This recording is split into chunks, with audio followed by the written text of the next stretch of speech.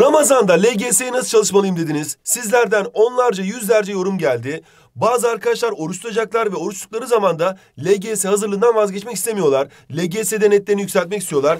Onlar için mükemmel bir video hazırladık arkadaşlar. Hem Ramazan çalışma programlarımızı hazırladık hem de yine 3 çeşit plan yani A, B, C plan hazırladık. Ramazan'da çalışıp netlerimizi artırmak için. Ama öncesinde şunu söylemek istiyorum.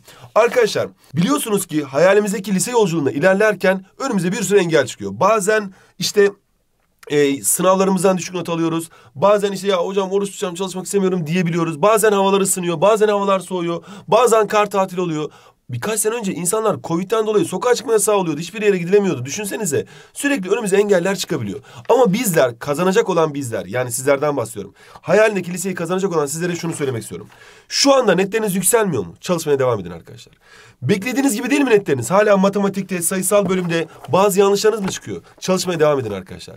Harika mı gidiyor? Şu anda çok iyiyim hocam. Netlerim sayısalda da çok iyi, fende de sözelde çok iyi. O zaman çalışmaya devam edin. İşte her türlü çalışmaya devam etmemiz gerekiyor. Çünkü tutarlılık başarının anahtarı. Yani siz çalışmaya devam ettikçe hiçbiri karşınıza duramayacak. Yani önünüze bir sürü engeller de çıksa, bir sürü dönemler de çıksa, yaz da gelse, kış da gelse, Ramazan da gelse, bayram da gelse herkes bir şekilde bahane bulup kaçacak ama siz hayalinizdeki lise yolunda çalışmaya devam ettiğiniz için en sonunda kazanacaksınız. Harika gitse de çalışmaya devam edeceksiniz, eksik gitse de çalışmaya devam edeceksiniz ve başarı sizi bekleyecek. Şimdi o zaman geri videomuza geri dönüyorum. Şimdi öncelikle Ramazan ayı büyük bir fırsat. Neden? Çünkü bazı arkadaşlar Ramazan ayında ya işte oruç tutuyorum bıraktım ya. Olur mu? Oruç tutmuş olabilirsin. Çok güzel. Allah kabul etsin. Ama sen Ramazan'da yine ders çalışmaya devam edebilirsin. Çünkü Kur'an-ı Kerim'deki ilk emir ne? Oku. Dolayısıyla okumamız, ders çalışmamız da gerekiyor.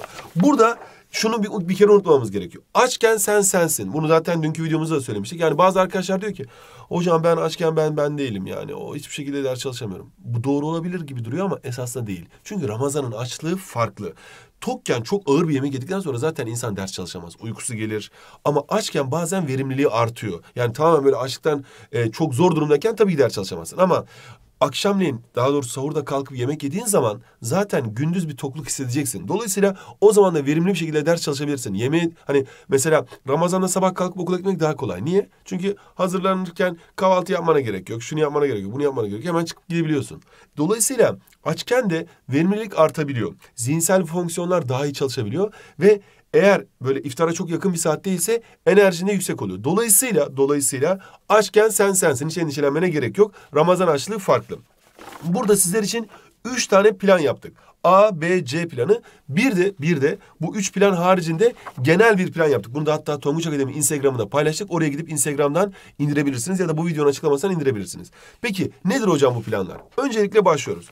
Birincisi A planı kolay. Yani hocam ben hani çalışıyorum ama fazla yani lütfen hocam please fazla zor olmasın diyorsanız A planı var. B planı orta, C planı ise zor. Bu gerçekten gayret gerektiriyor. Şimdi A planında iftardan sonra böyle ağır bir yemek yiyip salçaları, hamburgerleri, işte pilavları gömdükten sonra değil tabii ki. Hafif böyle çok ağır yersek direkt uyuruz yani. Orası önemli. E tabii ki bütün gün oruç tuttuğumuz için karnımız acıkacak ve o nimetleri böyle tabii ki lopur lopur yemek isteyeceğiz. O ayrı mesele. Ama olabildiğince hafif tutarak çünkü iftardan sonra yemek yiyebiliyorsunuz. Yani sadece iftarda yemek yiyebilirsiniz. Bir daha yemek yiyemezsin diye bir şey yok. Onu unutmayın. İftardan sonra güzel bir iftar yaptıktan sonra hemen dersin başına oturuyoruz biraz dinlenip. İki saat sayısal çünkü sayısal dersler biraz daha zorlayıcı. Bir saat sözel soru çözümü yapabilirsiniz. Yani üç saatlik bir çalışma yapabilirsiniz. Sonrasında uyku sahura kadar dinlenip uyuyabiliyorsunuz. Sahurdan sonra da yine e, uyuyup okula gidiyorsunuz. Bu birinci plan A planı. Ama bu iki saat sayısal soru çözümü, bir saat sözel soru çözümleri arasında yine yemek yiyin arkadaşlar. Yani iftarda çok fazla yemediğiniz için aralarda mutlaka atıştırın, enerjinizi alın ve en önemlisini söyle bakın bol su için arkadaşlar. Çünkü su insanın hem zekasının çalışmasını sağlıyor hem de ertesi gün oruç tutma, tuttuğunuz gün bir şekilde size su çok lazım olacak. Ama oruçluyken su içemezsiniz. İftardan sonra içtiğiniz iki bardak su bir işe yaramayabilir. Dolayısıyla bu aralarda bol bol su da içmenizi tavsiye ediyorum. Hocam su içince hemen böyle lavaboya koşuyorum. Koş sıkıntı yok önemli değil. B planı. Yine iftarımızı yaptık. Yine çok fazla yemedik. İftardan sonra iftarımızı yaptık. Çok fazla yemedik. Niye? Çünkü ders çalışırken aralarda yiyeceğiz. Aralarda meyveler gömeceğiz. Annemizin yaptığı kestiği meyvelerden yiyeceğiz belki. Belki tatlılar olacak bir şeyler atıştıracağız. Orası kesin. B planında iki saat bir genel tarama. Genel tarama yani konu eksiklerimiz varsa onlara bakmak veyahut da varsa denemeler çözmek. Mesela bu tarz LGS matematik, matematik denemelerimizden ya da günde 15 paragraf gibi yeni kitaplarımız var. Bunlardan sorular çözmek.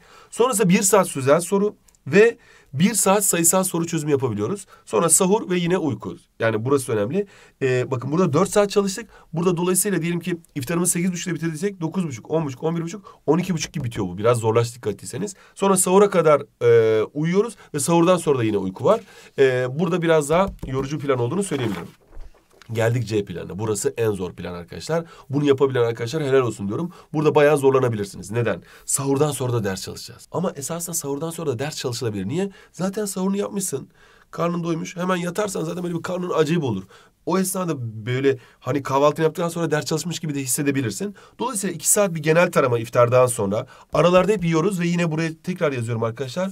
Bol su içiyoruz. Su olabilir, meyve suyu olabilir fark etmez ama su içmemiz lazım. Çay içmeyi seven arkadaşlar çay da içebilirler. Sıvı almamız gerekiyor. Yani bu oruç tutuyorsak ABC planlarının hepsinde su var arkadaşlar. Mutlaka su içmemiz gerekiyor. Sonrasında iki saat sayısal soru çözümü, sahur dinlenme ve sahurdan sonra da bir saat soru çözümü var. Yani bunun AB planlarından farkı sahurdan sonra da yine ders çalışmaya gerektiriyor. Ve sonrasında yine uyuyup gidebiliriz arkadaşlar. Bu C planında özelliği bu. Peki hocam genel plan nedir? Burada okuldan döndünüz. Okuldan döndükten sonra mutlaka dinlenin arkadaşlar. Bazı arkadaşlar okuldan işte ikide dönebilir. Bazı arkadaşlar dörtte dönebilir. Bazı arkadaşlar bunu da söyleyeyim. Bunu da gördük yorumlarda. Hocam bizim öğleden sonra başlıyor okulumuz demiş. O arkadaşlara da şimdi plan çizeceğim. Onlara özel yazacağım şimdi. Okuldan döndünüz. Dinlenme, e, burada soru çözüyoruz. Hocam ama orucuz ya öldük ya zaten okulda da öldük ya. E, burada uyu uyandığın zaman zaten şöyle bir enerji alırsın. O esnada da zaten birazdan iftar geleceği için ya birazdan iftar geliyor. Birazdan zaten yemek yiyeceğim. Zaten mutlu olacağım. Zaten her şeyi löp löp löp götüreceğim diyerek bari biraz soru çözeyim diyebilirsiniz. Deneme çözebilirsiniz. Eski LGS örneklerinden çözebilirsiniz. Hatalarınız çıkabilir ama önemli değil. Ee, onları zaten soru çözümlerine bakabilirsiniz. Sonra iftar. İftarda yine abanmıyoruz. Yani böyle saldır bu şekilde her şeyi yersen ondan sonra uyursun. Bütün gün uyursun. Çünkü zaten bütün gün yoruldun uyursun. Ama güzel bir şekilde yersen ardından aralarda da yiyeceğini bilerek yersen o zaman çalışabilirsin. Burada ee, yine bir dinlenme var. 21 ile 23.45 arasında bir ders çalışmamız var. Sonra uyku, sahur, yine bir konu çalışma, yine uyku ve okula gidiş oluyor arkadaşlar. Eğer e, okulunuz öğleden sonraysa, onlar için de hemen şöyle yazalım ki karışıklık olmasın. Okulunuz öğleden sonraysa. Şimdi iftar yaptınız. Okuldan gelince iftar yaptınız tabii ki yani. Okuldan o zaten perişan bir şekilde geldiniz. E, çünkü öğleden sonra okula gitmişsiniz. İftar. Orada arkadaşlar bir dinlenmemiz var. Bakın öğleden sonra grubu için söylüyorum. İftar, dinlenme. Sonrasında dinlenme. Ardından çalışma. Bak çalışma. iki saatlik bir çalışma. iki yazıyorum buraya. Sonrasında ee, yine dinlenmemiz var arkadaşlar. Dinlenmeden sonra, dinlenmeden sonra yine e, çalışmamız var. iki saatlik burada. Tabii ki aralara yine e, boşluklar verebilirsiniz. Pomodoro yapabilirsiniz. Burada sahura kadar çalışma devam ediyor arkadaşlar. Sahura kadar bak. Dinlenme, yine çalışma, çalışma. Ne oldu? Diyelim ki iftarınız 9'da bittiğini düşünelim. Yani dinlenmeyle beraber 9.30'da bittiğini düşünelim. 10.30, 11.30. Yazıyorum buraya. 10, e, 11.30 diye yazıyorum. Sonrasında dinlenmemiz var. Burada 12 e, diyelim mesela 12.02 diyelim. Tamam 12.02. Sonra dinlenmemiz var. Burada da mesela ne olsun? 2.30 e, 4 diyelim. Yani sahura kadar geldik. Tamam. Şimdi artık ne var? Sahurumuz var. Sahura geldik. Şu iftarla sahuru söyledik.